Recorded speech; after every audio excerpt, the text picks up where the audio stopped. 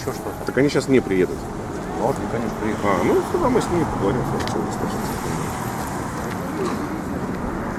А можно вас попросить еще вот там полицию вызвать обычную? Мы там, Обычную? да, участковых, а то вот тут э, граждане торгуют, у них сертификатов нет на товар.